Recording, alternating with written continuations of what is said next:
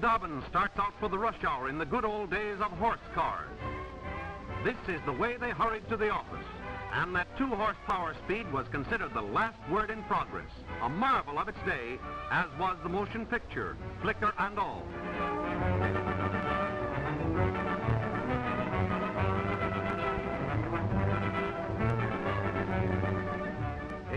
Piece of the earliest motion picture news photography. Steam locomotives haul New York's elevated trains. Housewives in second-story dwellings enjoyed all the advantages of a steam bath, grand for lace curtains and things.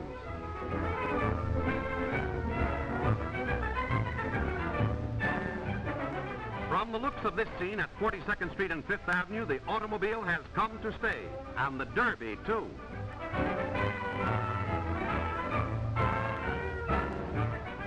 Here's one of the busiest corners in the world, the mad rush of a metropolis. Horatio Alger newsboys shouting their wares, horse cars streaking down the street. And do you believe those comedy cops appeared only in early Hollywood? Here's the real thing.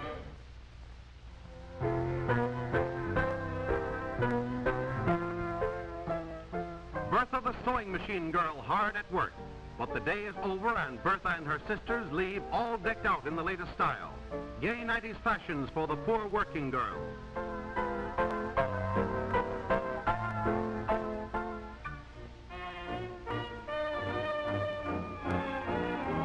The pride of the well-dressed woman and man appearing in the season's new fashions on Old Fifth Avenue.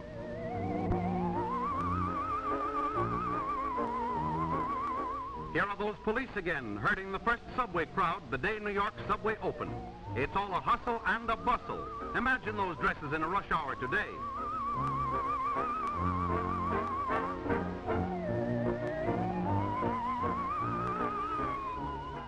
Now it's to the field of sports in the good old 90s.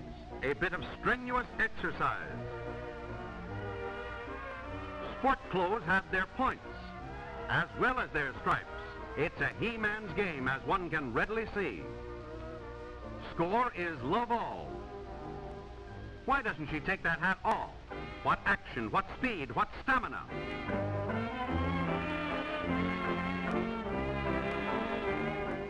Better look in the mirror before laughing at these hats.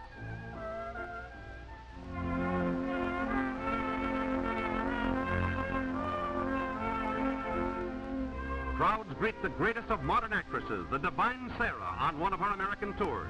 A rare picture indeed of the great tragedian's classic features.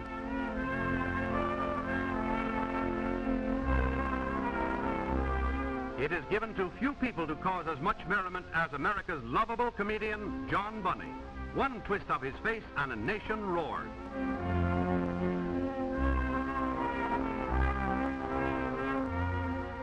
Besides inventing the telephone, the Scottish-American scientist was devoted to research and experiment to aid the deaf.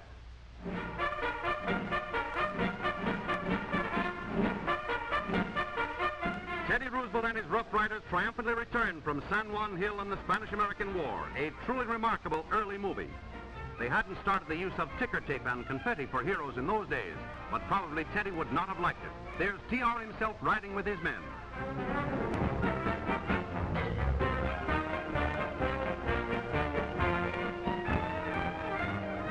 In 99, he became New York's governor, and again the Rough Riders are with him.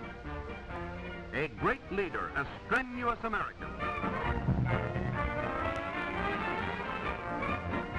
Benefactress of a world, Madame Curie, discoverer of radium.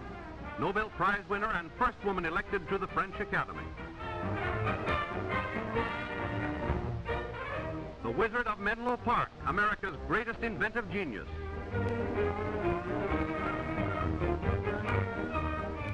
The beginning of a great public career. Friends gather around Professor Woodrow Wilson, as do the well-dressed cameramen. He's receiving election returns in his race for the New Jersey governorship.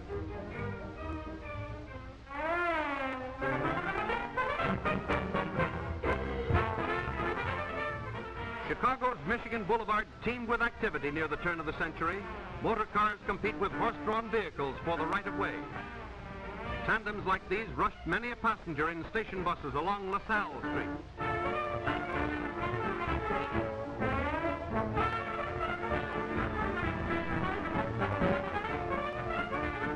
And Market Street in San Francisco seemed to have everything too, except traffic regulations.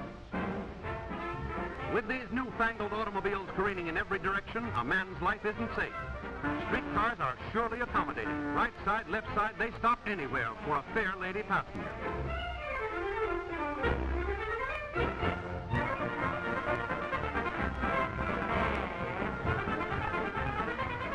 The Golden Gate City is up to date, too, with its ferry bus.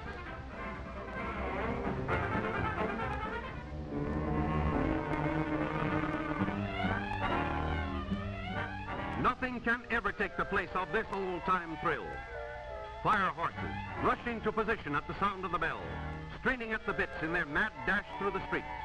A noble animal, specialized and devoted in his task, now gone forever in the saving of men's life and property.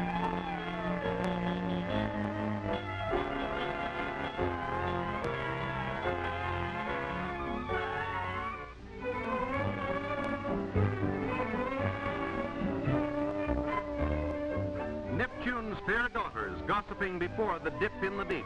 Or are they just modeling these new bathing suits? Here they come down the line. My, she has originality or something. Greatest bevy of blushing beauties ever to face a judge's stand. Was there ever such a conglomerate aggregation of variegated costumes? Such an array of champion glamour? What supreme confidence, what poise, what grace? Everyone a winner in her own opinion. All the dash of it, the youthful spirit, the utter bravado. Like fairy queens with parasols for magic wands. How winsomely they smile. How proudly they model their own ideas of what a bathing costume should be. How coyly they strive to charm the deciding judges. May the best girl win.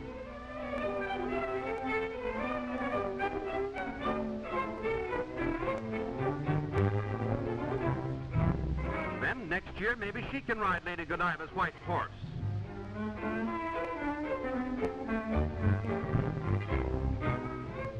They did it then as they are doing it now, only they had more hair to do then.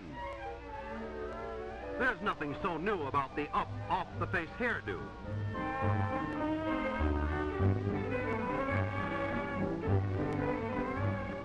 As for fashion models, we'll back up the girls of yesteryear against those of today, plume, coyness, and all.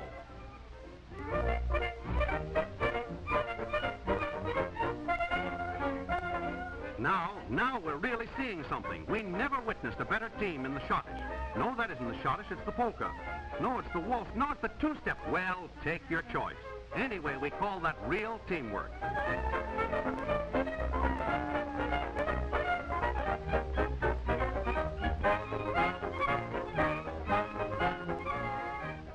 Certainly were on the up and up at Coney Island. Puppet twinkles his toes on the tightrope. And then Mama, with equal nerve and grit, amazes the gaping crowd with a few demonstrations of how she leads a balanced existence. It's a heavy responsibility for the tightrope. Anyway, the crowd likes it.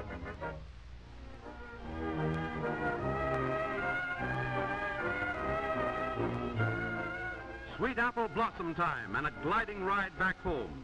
Smooth sailing these spring days. With the birds chirping. Everything vibrant with life. The leisurely way of yesterday is over. A new order has taken its place. Another era starts, a faster life, and the wheels of the world move on.